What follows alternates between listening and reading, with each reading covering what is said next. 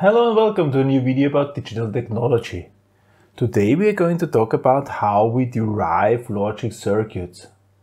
Usually we have something which is which is called table of truth.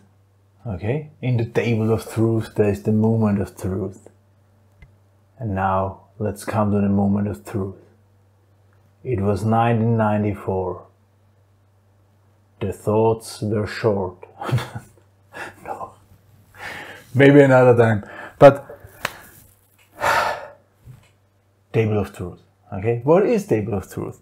Usually in a logic circuit, we said we have uh, a number of inputs, logic inputs. This can either be true or false.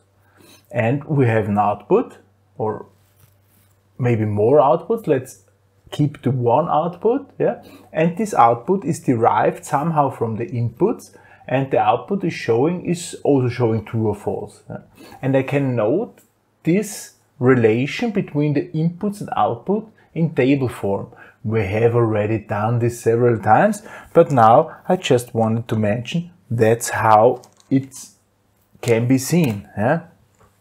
So let's have a table of truths example with two inputs. Yeah? So we have an x1 and we have an x2. Yeah? And we have one output, my y. And now let's make here this table of truth. And it shall reflect every possible combination.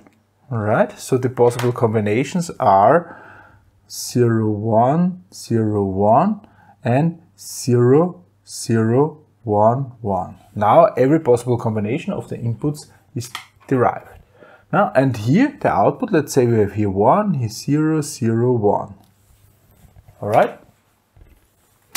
This is now a table of truth showing when the output shall be true, 1, in which combination of the inputs. And how, how we get now to uh, the possibility to, to, to derive logic circuits here. Okay? We just noted with the rules of Boolean algebra. Let's only view at the lines, look at the lines view. Look at the lines where the output is true and look at the inputs. So what must happen that the output here is true? Yeah? It must happen that x1 is not there.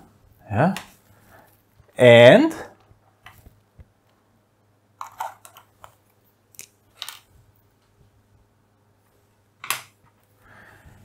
x2 is not there. Huh? Both must be zero. Both must be zero. This should happen. Huh? And here, what have we here? I use another another color. Here we have it must be x1 and x2.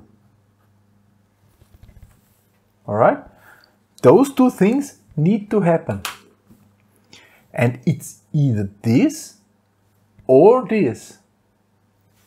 Or, huh? there is it already. So I have not x1 and not x2 and now or and here this was the orange cluster x1 and x2 ta-ta. And this equals y. This is the Boolean algebra of this table of truth. Okay?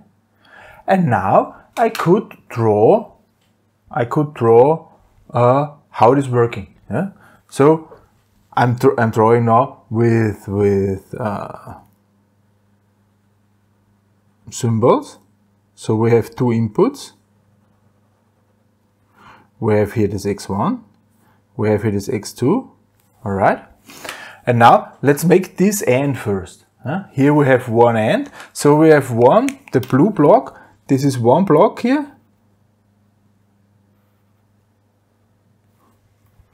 Shall be an AND with one output. and the two inputs are inverted. And we have not x1 and not x2. This is this one. All right. We need this one as well.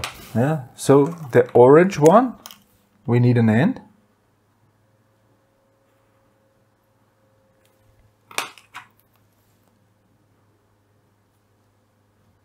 The inputs are not inverted, so we have x1. Too many colors here. We have x1 and we have x2. And what do we need then? We need this this AND here, uh, this this this OR. Yeah. So in the end,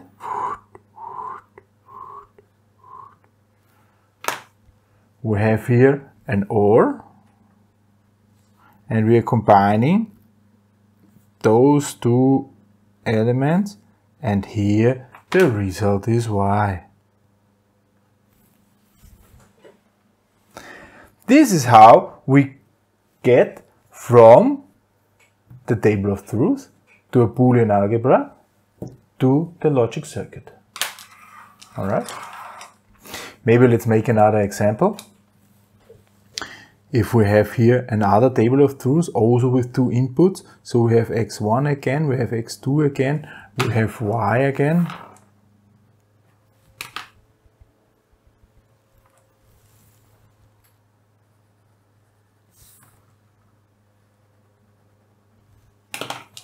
Let's note all possible combinations 0, 1, 0, 1, 0, 0, 1, 1. And now we shall have 0, 1, 1, 0. So exactly inverted. Okay. Let's again note what shall happen here. So we have not x1, uh, we have x1 and not x2. Here we have not x1 and x2. And now combine these two, so x1 and not x1, x2, or not x1 and x2 and this equals y. Okay. Now let's draw again the, the logic circuit. x1, x2, okay. The blue one is an AND.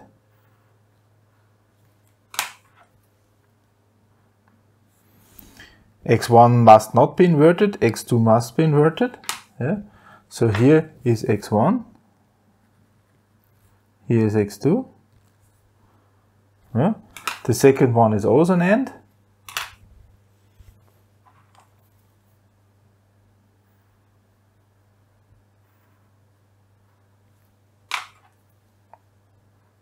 This time the first one is inverted, x1 is inverted,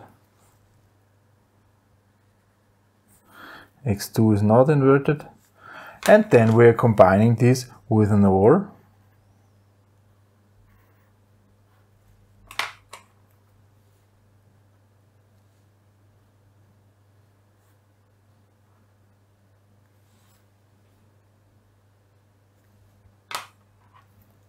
have this y.